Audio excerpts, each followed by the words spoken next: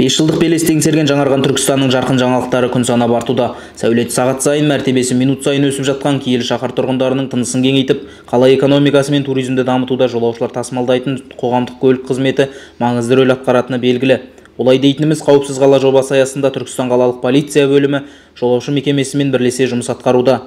Жүргізушінің дөрекі сөйлеуі халықпен соны бақылаймыз. Жергілікті полициямен қала әкімдігімен бірлескен шарамыз бар. Сол шараның негізінде қалада қауіпсіздік қамтамасыз ету мақсатында әр автобустың ішінде аудио видео жазба жүреді қазір қала бойынша. Ол мысалы үшін іште қалта ұрлығы болсын заттар түсіп қалған болса басқа жағдайда іште төбелес болса басқа жағдай айқай шу болса барлығын жергілікті полицияға мысалы біз толық видео түсіне аламыз.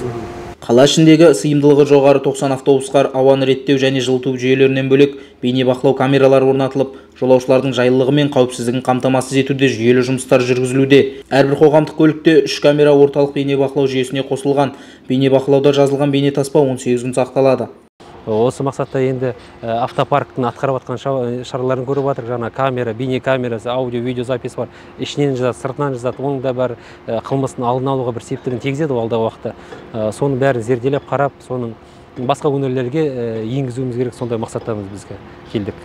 Жолаушы автопарк қалалық полиция бөлімімен бірлесіп қоғамда орын алатын қылмыстың алдын алу және жүргізушінің жол қауіпсіздік ережелерін сақтауы мен жолаушыларды тасымалдау қызметін бақылау жұмыстарын жүзеге асыруда.